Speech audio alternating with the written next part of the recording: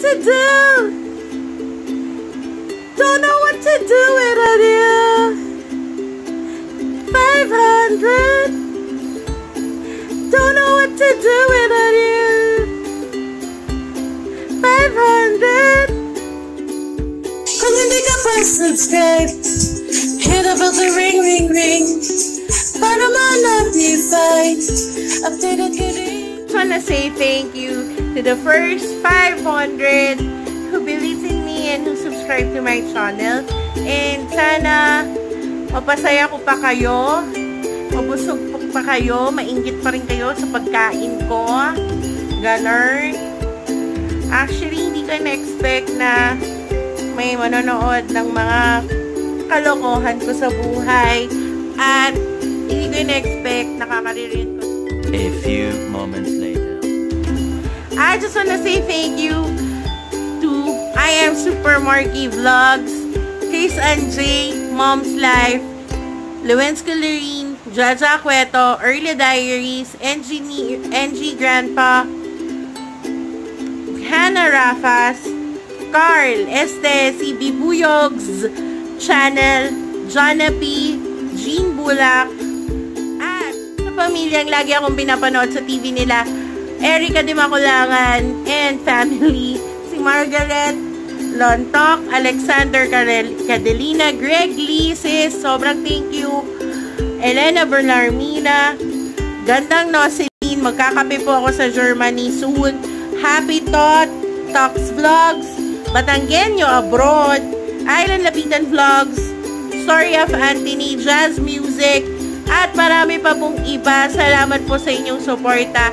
Yung mga nabanggit ko po ay yung mga tao na nakikita kong laging nandyan para sa akin, para i-cheer up ako. Kapag feeling ko walang manonood sa mga pinagagagawa kong kalukahan sa buhay at katakawan sa buhay.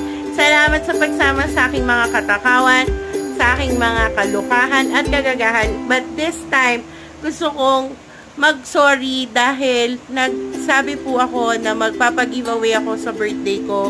Kaso may nangyari po sa Batangas City na sa tingin ko mas okay na gamitin ko doon yung fund para sa aking paraffle sa birthday ko. Kasi kaya naman po ako magpaparaffle eh para makatulong dun sa mga tao na nanonood sa akin. Pero this time, gusto kong pong magpa-thank you at ang way ng pagpapa-thank you ko ay ang pagtulong sa mga nasunugan dito sa Batangas City. Alam ko, hindi naman malaki yung kaya kong ibigay.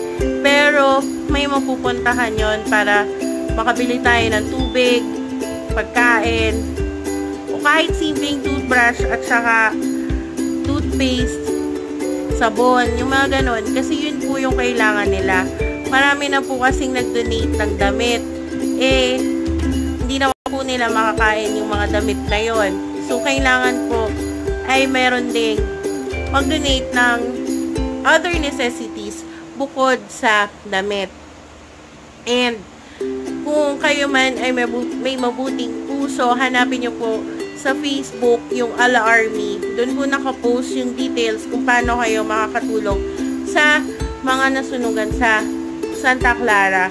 And sana po, kung sinamahan nyo ako sa lahat ng paglamon ko at sa lahat ng mga kulakahan ko dito sa channel na ito, samahan nyo rin akong tulungan sila na makabangon dahil yun na po yung best birthday gift na pwede nyong ibigay sa akin. Yun lang po. Talaga, sobrang napasaya nyo po ako at sana lumaki pa po itong family natin. Yun lang. And see you on my next vlog. Bye!